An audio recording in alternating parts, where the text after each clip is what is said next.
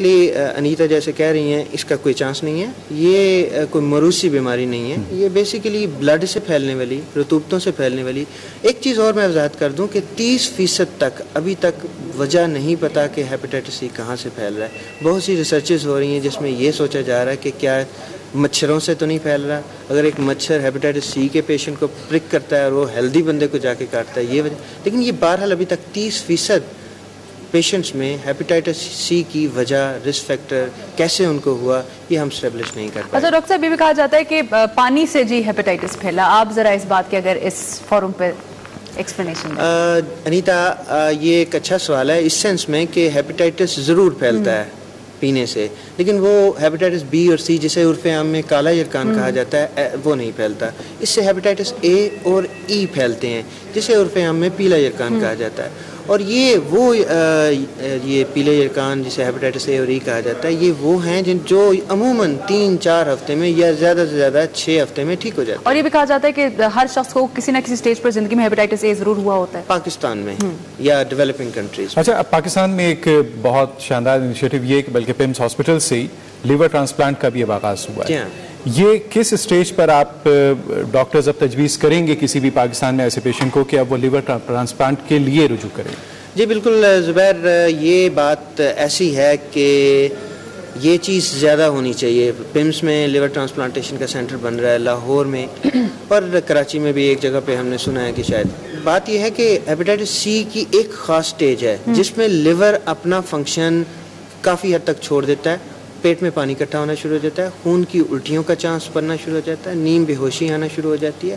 اس بات کا تعین کرنا کہ اس پیشنٹ کو لیور ٹرانسپلانٹیشن کی ضرورت ہے یہ نہیں وہ ڈاکٹر ہی کر سکتا ہے۔ لیکن جنرلی اسپیکنگ کسی کا پیٹ سوچنا شروع ہو جائے کسی ہیپیٹائٹس سی پیشنٹ کا یا نیم بے ہوشی آنا شروع ہو جائے یا خون کی الٹیاں یا خدا نخواستہ پیروں کا سوزش تو اس کو ہیپاٹولوجسٹ یا ڈاکٹر کے پاس جانا چاہیے اور وہ لیور ٹرانسپلانٹیشن کے بارے میں ان کو اچھی رائے دے سکتا ہے۔ اچھا اب ایک پیشنٹ ڈائگنوس ہو گیا ہیپاٹائٹس سی کے اسٹیج پر ہے۔ جی ہاں۔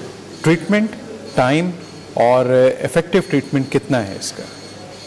یہ جی بات یہی ہے کہ ہیپیٹائٹس سی ٹریٹبل کنڈیشن ہے۔ فرسٹ آف آل اس بات کا سلوگن ریس کرنا چاہیے کہ ہیپیٹائٹس سی از ٹریٹبل ہمارے پاس انجیکشنس موجود ہیں۔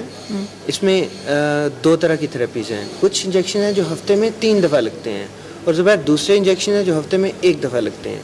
جو ہفتے میں ایک دفعہ لگنا ہے اس کا رسپانس بہت اچھا ہے۔ اگر ہم وہ دیتے ہیں پیشنٹس کو تو تقریباً پچاسی سے نوے فیصد لوگ ٹھیک ہو جاتے ہیں۔ اور جو جو ہفتے میں تین دفعہ ٹیکے وہ ذرا سستے ٹیکے ہیں۔ وہ جب لگتے ہیں پیشنٹ کو تو تقریباً ستر سے پچہتر اور کچھ جگہوں پہ اسی فیصد جو ہے پیشنٹ ٹھیک ہونے کے بالکل ٹھیک ہو جاتے ہیں۔ تو یہ سمجھ لینا کہ ہیپیٹائٹس سی کسی کو ہو گیا ہے۔ اور وہ ٹریٹ نہیں ہو سکتا، یہ قطن بھی بات ایسی نہیں ہے۔ اور خدا نخواستہ ایک ٹریٹمنٹ دینے، چھ مہینے کا سائیکل دیا اور وہ پیشنٹ ٹریٹ نہیں ہوا تو دوبارہ بھی دوسرے انجیکشن کے ساتھ اس کا ٹریٹمنٹ ممکن ہے۔ اور خدا نخواستہ ایک ایسا پیشنٹ جو اسٹیج پہ آ گیا کہ جس میں اس کو پیٹ میں پانی ہو گیا نیم بے ہوشی ہو گئی تو وہ اسٹیج ہے جس پہ ہم لیور ٹرانسپلانٹیشن کر سکتے ہیں اس میں یہ انجیکشنز نہیں دیے جا سکتے۔ ڈاکٹر صاحب یہ بتائیے گا کہ ہمارے پینل کی جانب سے ایک سوال آیا ہے کہ اگر پی سی آر ٹیسٹ آپ کا نیگیٹو آتا ہے لیکن اینٹی باڈیز پازیٹیو آ جاتا ہے تو اس کا کیا مطلب؟ یہ بڑا اچھا سوال ہے۔ یہ عام فہم میں بہت سے شاید میڈیکل پروفیشنلز کو بھی نہیں پتا ہوتا۔ معاملہ پہلے پی سی آر ایکسپلین کرنا بہت ضروری ہے۔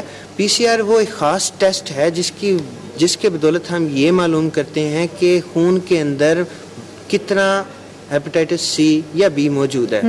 سی کی بات کرتے ہیں۔ آج ہم سی کی بات کریں تو دوسری بات آپ جا دیتی ہیں آپ نے بات کی سیرولوجی کی سیرولوجی کی۔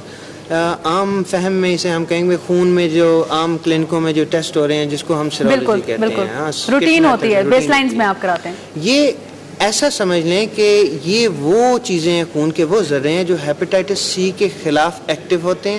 جب کسی کو ایک دفعہ ہیپیٹائٹس سی ہو جاتا ہے تو وہ ذرے خون میں بن جاتے ہیں۔ ٹھیک ہے۔ اگر ہم کسی پیشنٹ کو ٹریٹ بھی کر لیتے ہیں تو یہ ذرے خون میں موجود رہتے ہیں۔ ٹھیک ہے۔ اگر آپ نے پیشنٹ کو ٹریٹ بھی کر لیا اور ہیپیٹائٹس سی نیگیٹو بھی ہو گیا تو پی سی آر وہ ٹیسٹ ہوگا جو ایکٹیویٹی بتائے گا جو ایگزیکٹلی بتائے گا یہ پیشنٹ ٹریٹ ہوا یا نہیں۔ سیرولوجی نہیں بتائے گی وہ ساری عمر پازیٹیو آتی رہے گی۔ تو پی سی آر جس پیشنٹ کو ٹریٹ اس کی امپورٹنس زیادہ ہے۔ پی سی آر ڈاکٹر صاحب سے ہماری بات چیت جاری ہے ایک مختصر سا بریک اس کے بعد ہم آپ سے ملتے ہیں۔